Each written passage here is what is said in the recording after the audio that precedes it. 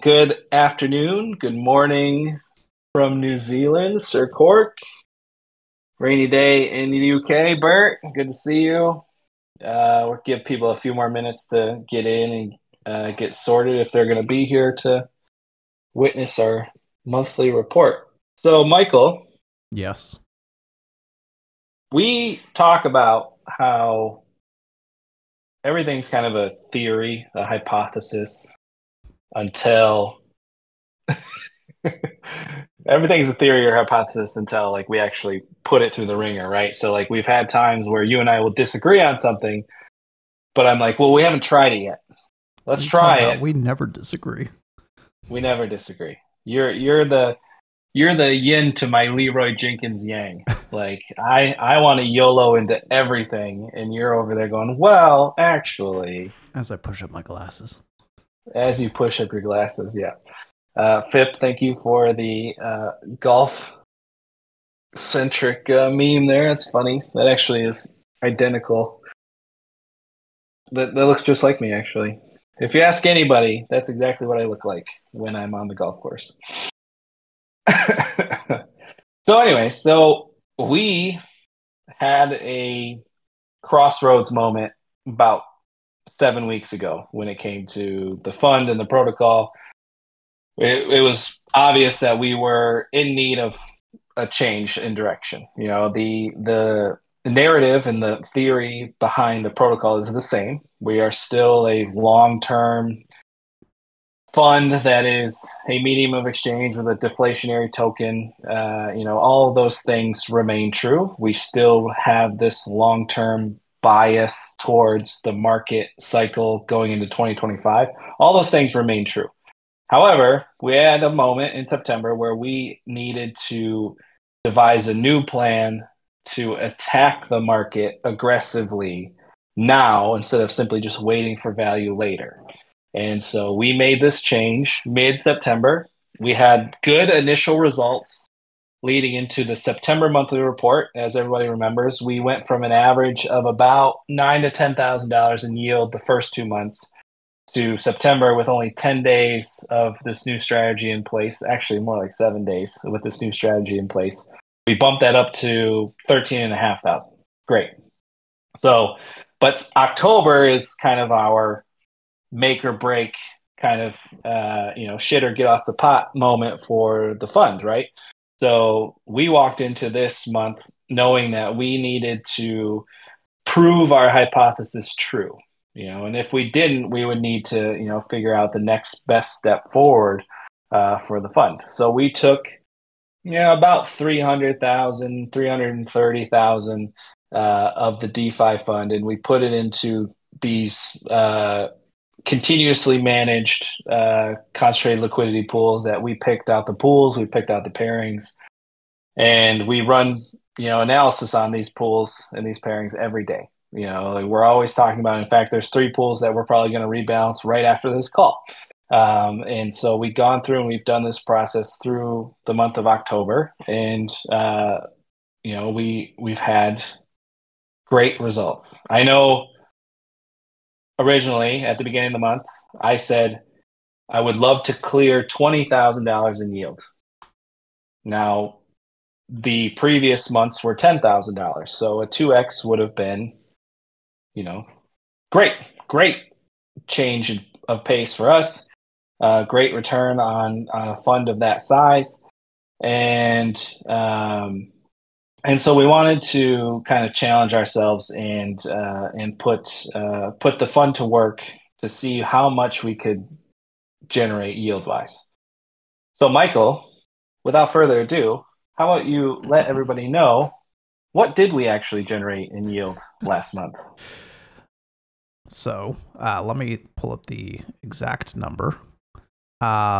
For the month of October, we generated twenty six thousand five hundred dollars in yield. Holy shit! Really? Yeah. Twenty six thousand five hundred dollars. Our goal was twenty thousand.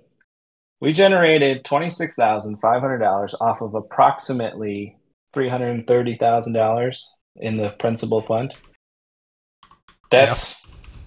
what almost ten percent. Uh, yeah.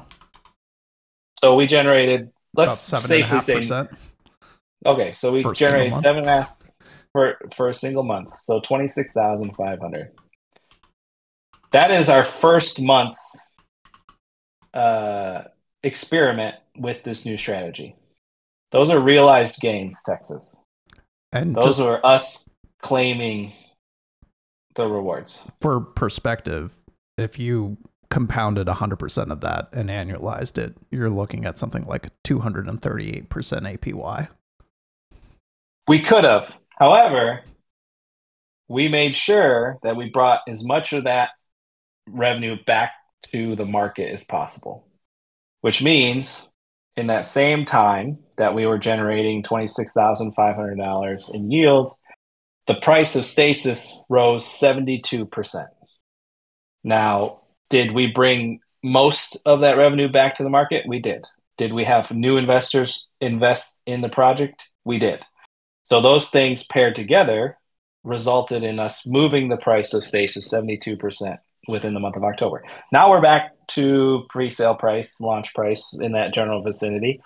But at the end of the day, not only did we generate that amount of revenue, not only did we have the price of stasis increase 72%, Michael, what else happened with the DeFi fund? I feel like this is a trick question I'm not set up for. The value of the DeFi fund also rose $30,000. So the clear message is, is we were able to deliver all of this value in one month without touching the principal of the DeFi fund. So if people have any questions about what the uh, what the overall outcome of this past month was, the DeFi fund grew in value.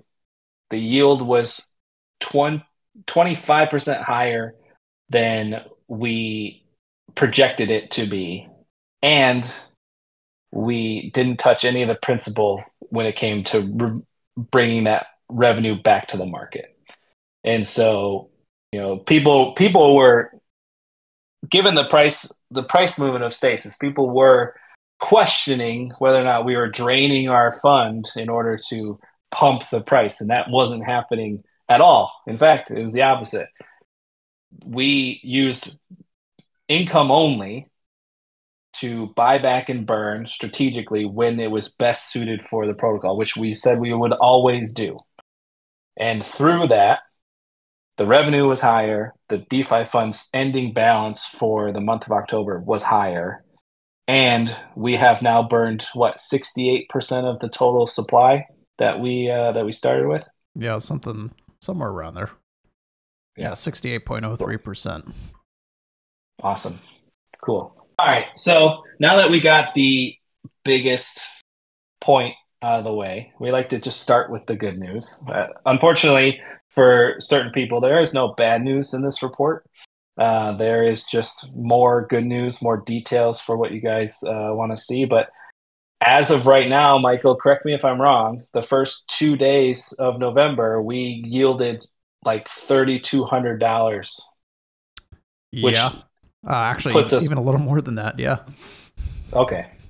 Yeah, so not only was not only was the month of October great for us, we believe that we have found a strategy given the current market conditions and the market that we're running into. We will we can continue to provide this level of revenue from the fund and grow it accordingly. Uh, and so I think uh, I think those are the key takeaways here.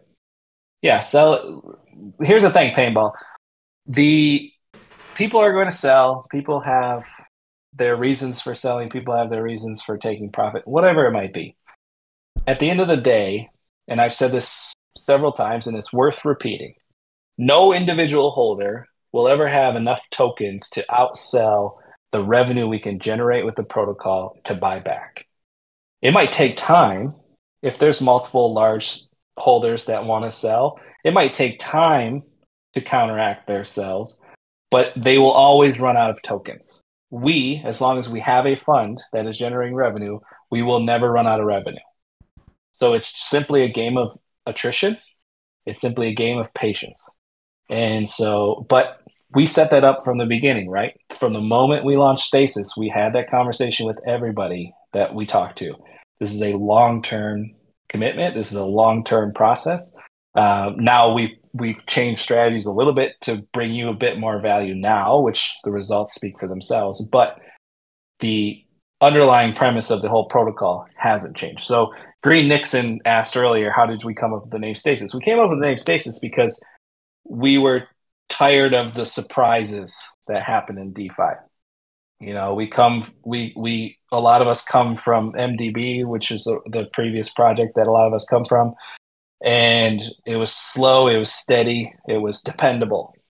And so, just like homeostasis in the human body, we we wanted to create something that people could walk away from and then come back to and see that nothing changed in a bad way. You know, we want them we want things to change from their passive income is still printing, the fund is still growing, the supply is still decreasing. Those are good changes. What we wanted to avoid was bad surprises. So the name stasis comes from the idea of it's it's dependable. Stasis means harmony, it means balance. Um, so that's how we came up with that name. So that's something that is uh, was key to us from a, from a sense of like you could set your dynamic strategies, you can walk away for six months, you can come back, and things are going to be as you expected. They're not going to be the same. Obviously, we don't want things to be the same. We want things to be better over time, but they will be as you expected, which is your money's still working for you, you're still earning rewards, and those rewards are still being processed the way you set them with your dynamic strategies. All right, Michael, let's get into this monthly report. Let's give them all the boring uh, spreadsheet information. Uh, but at the end of the day, Stasis is healthy. The DeFi fund is healthy. Um, and our hypothesis about our new strategy within the fund is proving to be extremely successful. All right. You guys had Hype Man prepare for Math Man. granular guy.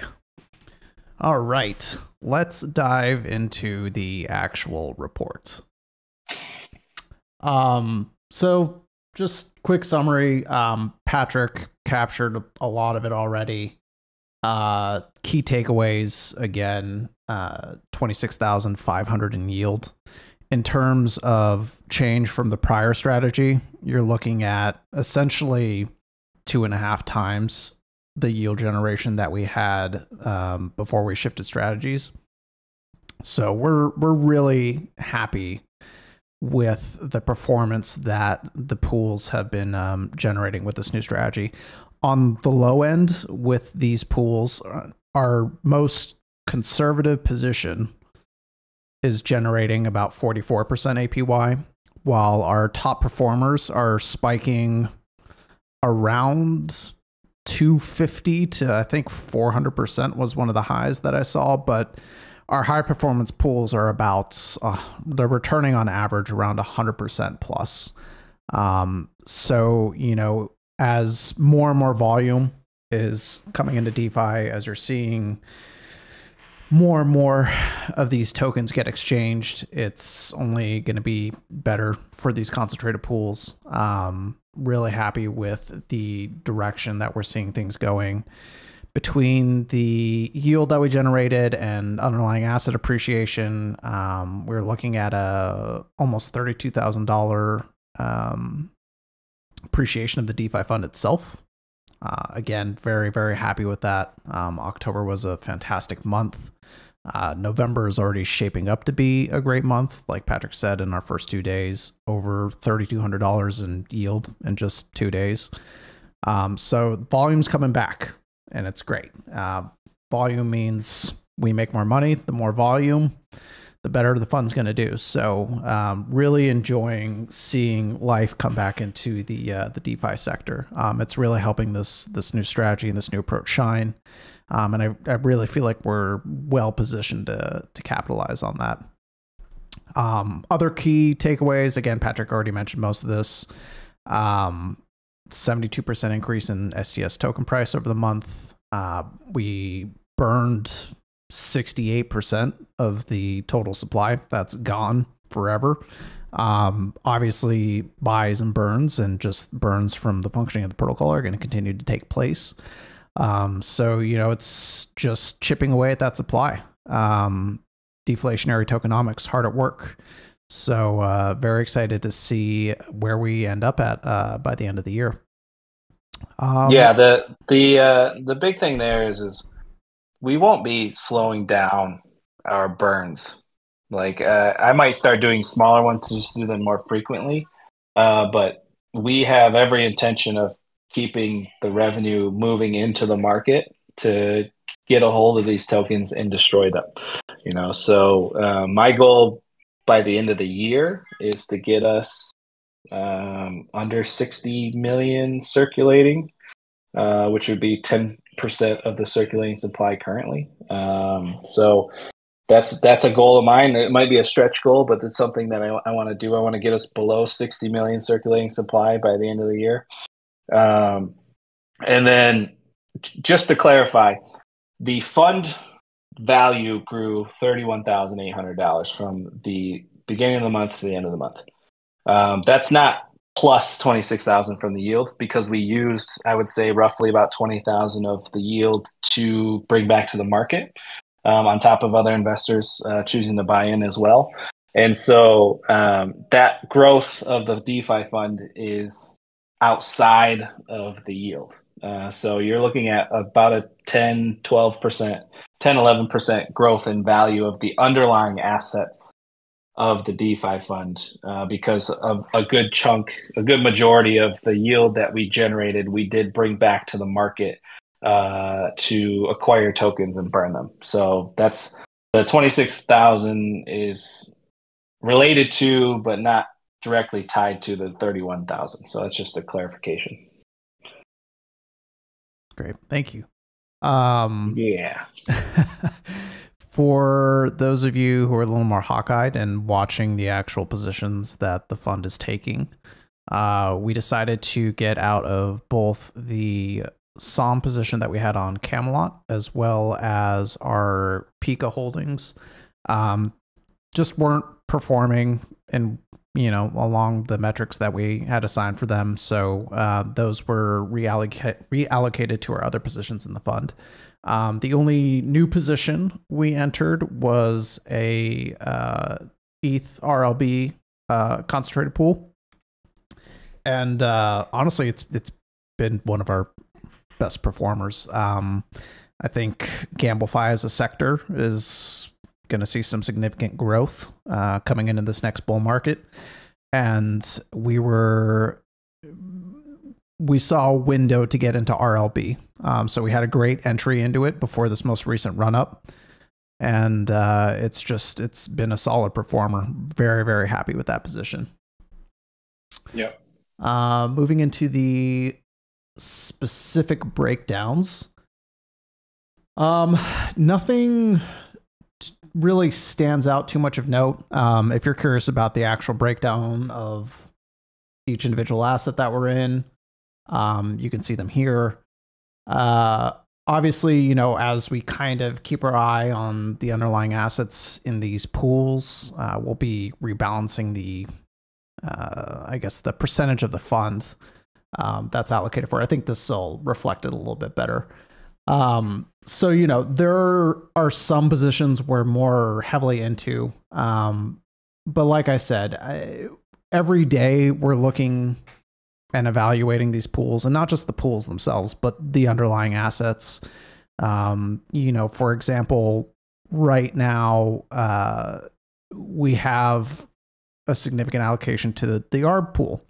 And part of that is, you know, we know that the token unlocks are coming early next year. And typically, with those sorts of large unlocks, um, they're going to do everything they can to drive up the price before that happens. And that's exactly what we've been seeing, um, especially in the last week or so, as you know that news has been circulating more and more in regards to the ARB unlock coming up uh, next year for you know all the initial VCs, investors, larger players. Uh, you've been seeing that outpaced appreciation.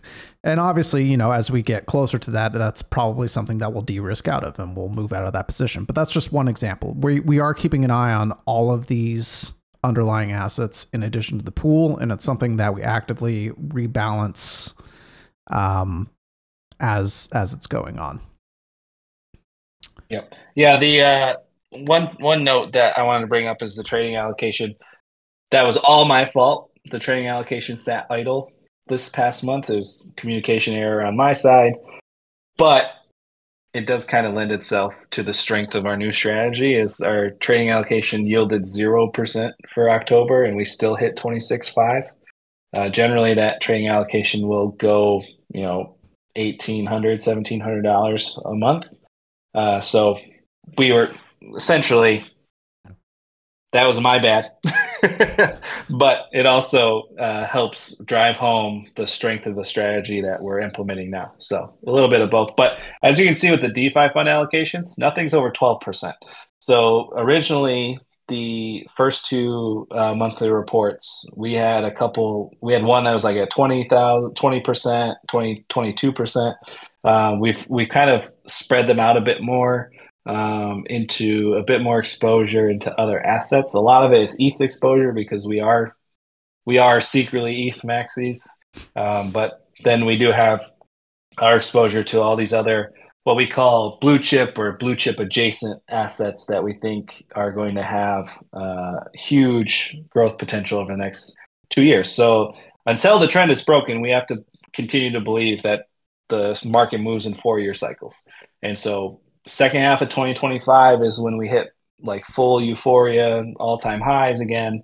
And we believe with this strategy, not only will we experience significant amounts of revenue due to volume increase throughout the market at, at a macro scale. Uh, the growth potential of these assets on average, ETH against these other assets, can be anywhere from 7 to 15x from where we currently are. Now, if you were to extrapolate that from a fiat standpoint, you could understand why we personally, as a team, are so bullish not only on the strategy, but the long range vision we have for the fund and the protocol as well.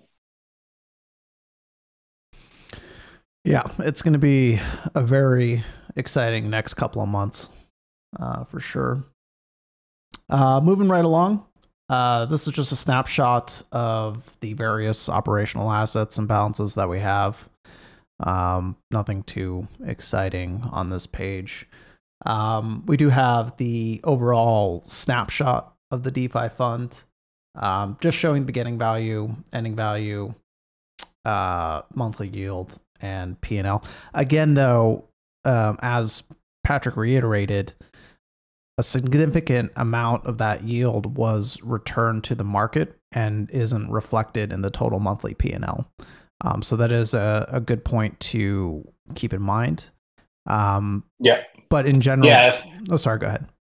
Yeah, yeah. If if we would have fully compounded what we brought back to the market, the P and L for the fund would have been like fifty thousand or fifty two thousand. You know, but but again, that was part of our strategy change. Is we could have compounded all of that, but we want we want to bring value back to the market for you guys, and so we we will see a little less increase on the short term, but you'll see more value coming back to the market because the medium of exchange, the stasis token, is your guys' access to value, and we need to make sure that that medium of exchange is healthy and that's why our ratios are good for our LPs. That's why we've seen the value of the token increase over the last month.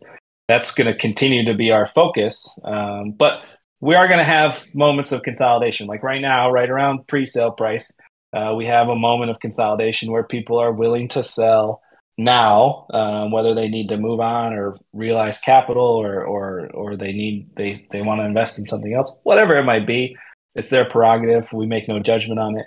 But if people are willing to sell at a certain price level, then we are able to either increase our commitments to the market or increase our commitments to the DeFi fund, and we can we can make those changes in real time on a sliding scale that allows us to make sure that we're being as efficient with capital as possible, whether it's bringing value back to the market or if it's just compounding back into the fund. Um, so, but that's something again, just like our positions, we monitor in real time, and we make the best judgment call in that moment about what to do with the revenue that we're generating. Exactly.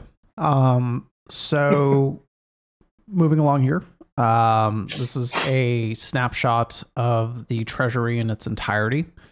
Uh, you can see a breakdown of what we have uh, in terms of the fund, as well as the various um, treasury operational balances, farms, um, everything of that nature. Um, this is one again one of those slides that I I don't want to frame it in terms of P and L because it's not genuine or reflective of what's going on with the treasury. But uh, you can see there was a in notional value in terms of U.S. dollars a forty thousand uh, dollar increase in terms of uh, the overall treasury itself. Wait, whoa, whoa, whoa! Did you just say forty thousand? Because it looks like sixty-two thousand to me. Am I? Oh wow, yeah. 60, See, this is what happens when you do things in the early, early afternoon. it's like sixty-three thousand. It's a sixty-three thousand yeah. dollar value increase. 40, 63. Same thing. Just saying. You know, we we grew the treasury, the overall treasury. We grew the overall treasury by like twelve percent. This is not. This is siesta time for me, Patrick. not not math. Yeah, we time. did. We did have to delay. We did have to delay an hour, didn't we? Uh, let's see. So again, over here, uh, you know, one of the big things that Patrick and I uh, really believe in is capital efficiency.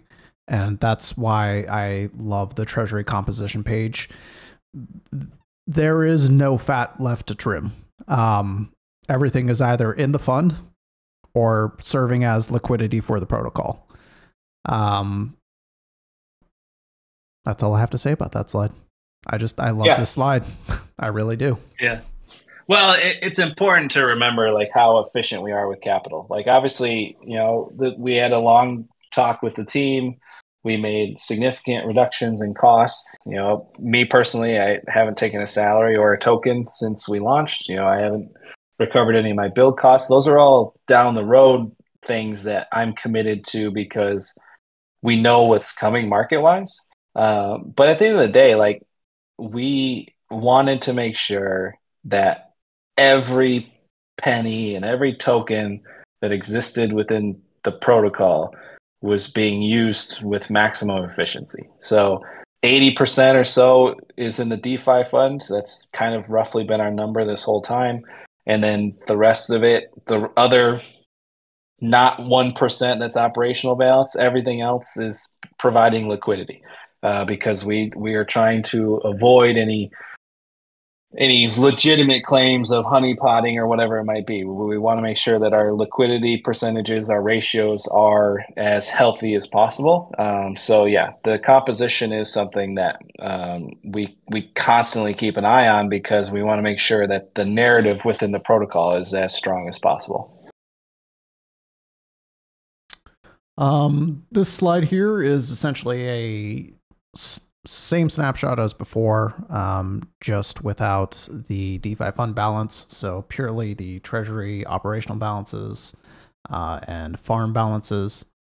Um, so, you know, uh, if you want to dive into the specific holdings of the treasury, um, all the information is uh, here on this slide. In terms of protocol metrics, um, you can see we saw uh, an increase in the fully di- fully diluted value market cap, um, despite uh, burning as much as we did. Um, same thing with the circulating uh, market cap. Um, treasury value went up. Uh, you can see that the backing liquidity uh, the value of the backing liquidity also went up. That just taps right back into what Patrick just said in terms of making sure that we have healthy ratios, sufficient liquidity. Um, those are some, you know, points that we're very focused on uh, and are very important to us. Um, the staking APY, uh, it was nice to see single staking go up. Um, the farms are still holding relatively, you know, and and points that we thought they would. Um, in terms of burns, again, you know, we're looking at 68% of the total supply gone forever. Moving forward into um, future end of month reports, um, I'll be putting uh, out metrics in terms of uh, circulating supply burns and ratios. Uh, just got a little messy or a little messy with uh, how much of the non-circulating supply we burn this month. Uh, but moving forward, I'll make sure that uh, that data is included. Uh, cool. Patrick, do you have any notes on uh, on this page, this data? Uh, the only thing I would point out is the circulating supply went up only because we included the multi-sig address into circulating total supply in our calculations, so that wasn't there before. Uh, so um, there's a half a million tokens approximately sitting in the multi-sig that uh, we kind of just keep a buffer in case someone wants to do a small OTC or uh, or if we need tokens for giveaways or maybe we kick up horde boxes again sometime down the road. You don't know. We might do something crazy like that. Uh, so that's the only kind of note is, is the circulating supply went up a little bit um, despite the fact that we've been dirt burning significant sums of tokens uh, simply because we included the multi-sig into the circulating supply now. So the only uh, tokens that are not part of the circulating supply calculation is the NFT contract because those are literally locked. You know, so there's nothing we can do about that. So those aren't part of it. But um, Viking, if you were listening from the start, you would know the very important update that we mentioned. So if you didn't hear that part, uh, I would definitely recommend uh, you know, listening to the playback once we publish it. Uh, no, Brent, you did not hear anything about whores. With a hard D. We, with ours. D. In retrospect, we probably should have called it something else. uh, all right. Uh, any other questions uh, before we start to wrap this up? Uh, the plan moving forward is we're going to keep optimizing and uh, growing this uh, strategy. So I'm constantly looking for new opportunities. Michael is constantly shooting those new opportunities down. And eventually we will find things that work. I'm always like, Michael, check out this pairing. He's like, that's a shit coin. That's a meme coin. That's going to be dead in like a week. That just because its APR is high doesn't mean we should invest in it. So, yeah, so I'm over here Leroy Jenkinsing into everything. And Michael is pulling me back, keeping me keeping me sane.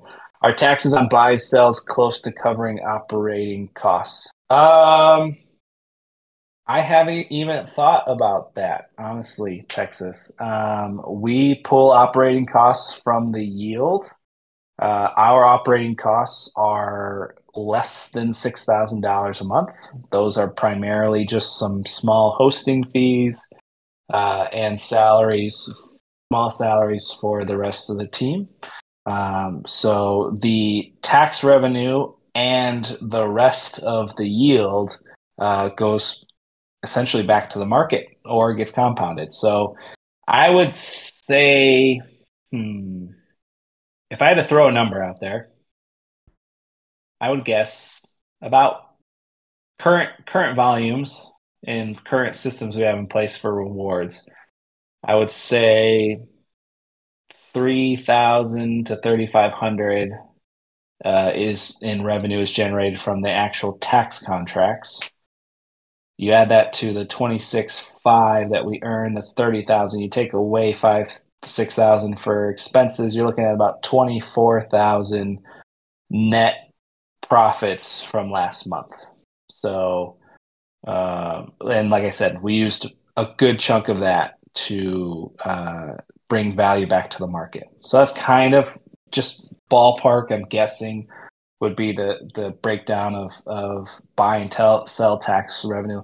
We, we we I guess I don't view the buy and sell tax as a direct supplier of revenue for our operating expenses. I kind of just see it all going into a single pot with our like yield revenue and and so that's kind of how like just philosophically i view it when it comes to the protocol um, and so uh, the key the key is is that we we have a system where you the buy and sell taxes, the the fees for farming and staking, they're entry fees, right? They're like they're the ticket you paid to get to the game, I guess. And so um, those those enhance our revenues, but still, at the end of the day, we want to make sure the fund was the vast majority of our revenue.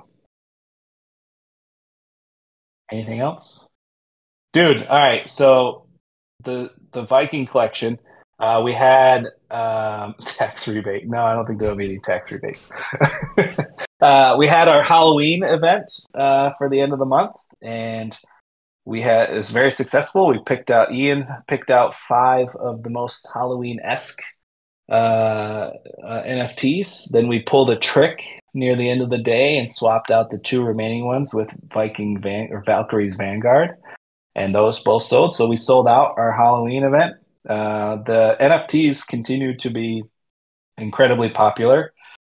Uh, they are depending on where the price lands with the token, they will be fully backed fiat value wise once stasis hits 1.2 cents, I think. So if we do have another event where you get to buy an NFT, not only do you get some extremely beautiful artwork that Ian created, uh, there will be value involved as well because they are almost fully backed now from a fiat value standpoint. I think the last time I redeemed an NFT, uh, 55,000 stasis came out.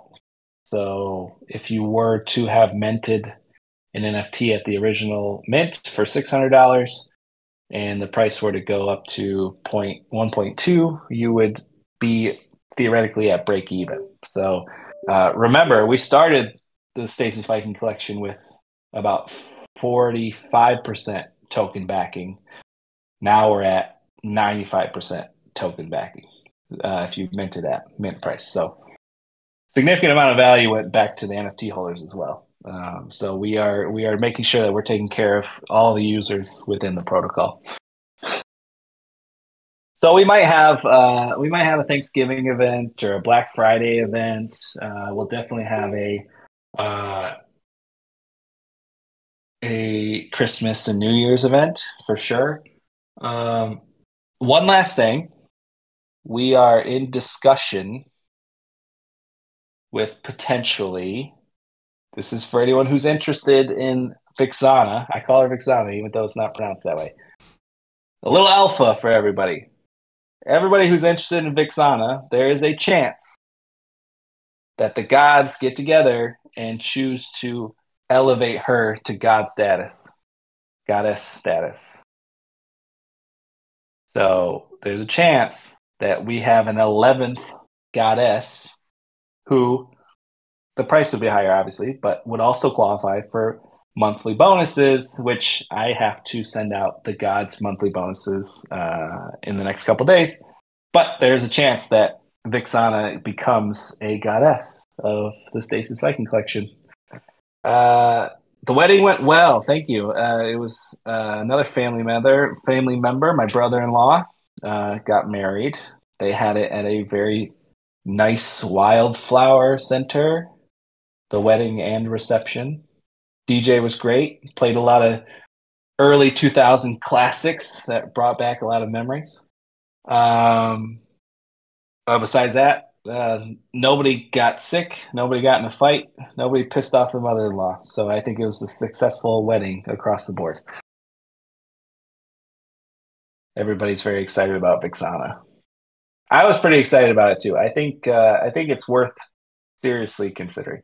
If we do do the horde boxes, horde Hard with D. a, with a hard D, uh, we might do them January, or we will do a NFT version of the horde boxes where if you buy a box, there's an NFT and a token bonus inside. So uh, we we'll see. We'll see. We might.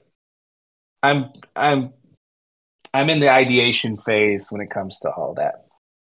Michael, is there anything else that we need to cover, go over, or reiterate? I think the the takeaway is just you know we turned on the money printer and it's it's working great. We did. hmm We did. And like I said, my projection that I wanted to hit was 20,000. We got 26,500. And twenty thousand was a stretch goal. And 20,000 was a stretch goal, but we don't want to tell people that. No. We want to we we were fully confident in 20,000. Absolutely. And the key for us is it wasn't a one-off. This is something that it takes time. Like don't get me wrong, we we Michael and I are making this sound easy. I talked to Patrick it- way too much. both of our significant others are concerned about our relationship. That's how much we talk. But that's how much this strategy demands in order to keep it viable. And so we want to make sure that, you know, we are taking care of the fact that we need to monitor these investments on a daily basis. This is my full-time job. When Michael's not working, this is basically his full-time job. And that's the reason we can get away with deriving so much value from the fund at its current size. And so uh, that's really important to keep in mind. Now, at the end of the day, it is something that we can continue to do. That revenue is going to continue to exist as long as the markets continue to exist. And there is no indication that Uniswap and all these blue chips are going to die tomorrow. And because of that, we can continue to drive revenue. We can continue to bring that revenue back to the market. And we can continue to take care of the medium of exchange between you and the fund, which is the Stasis token. And so, as long as we do that, we will continue to uh, make sure that we're all heading in the right direction. Um, we're on a sustainable path. That is the key takeaway, and that is exactly what we're trying to say. Um, 26,000 is our new benchmark. We might hit it this next month, we might not, but at least we have an idea of what we can do. And so the next step is is we continue to grow the fund, we continue to grow the revenue, we continue to grow the value of the protocol. Uh, and through that, we're going to burn a shit ton of tokens, and we're going to make sure that every time rewards trigger, your ownership percentage in the token supply goes up because that's the biggest deal. Um, other than that, uh, I think we just need to give away some stasis and uh, get out of here for the weekend. Absolutely. Cool. All right, I'm doing two $25 stasis giveaways. I'm going to pick at random, but it's biased because I get to choose. And you know what? You have to live with the consequences. All right, first $25 giveaway I am going to give to Rain Phase. I, that is a gentleman that I enjoy greatly.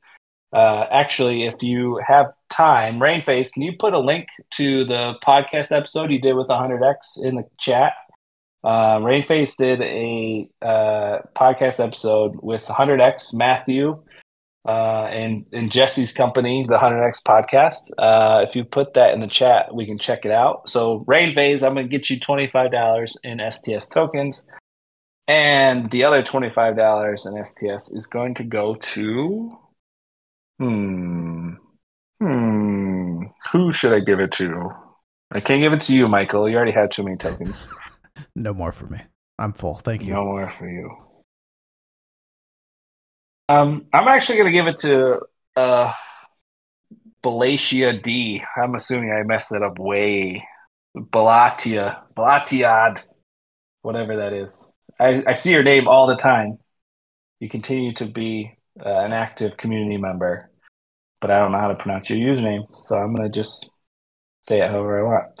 All right, so Blatia and Rain Phase, if you guys could open up a ticket in the ticket gateway, get you $25 in stasis tokens uh, each.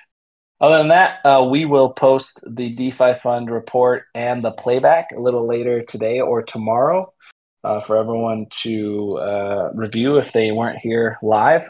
Uh, but at the end of the day, the key takeaway is we generated $26,500 in yield. The DeFi Fund rose in value. We brought significant value back to the market without touching the principal of the fund, which means everything grew, everything continues to grow, and we will continue to execute this strategy in the best way possible.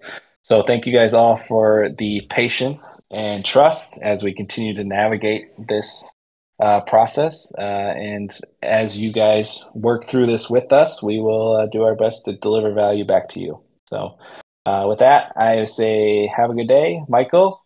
Have a good weekend. You too. Try not man. to talk to me so much. Nah. Maybe spend a little time with your girlfriend. Nope. It's just gonna be us two, just like it always is. Markets never close, baby. We got to make sure we're on 24/7 it. Crypto, baby. That's right. All right, everybody. Have a great rest of your day. Take care, everyone.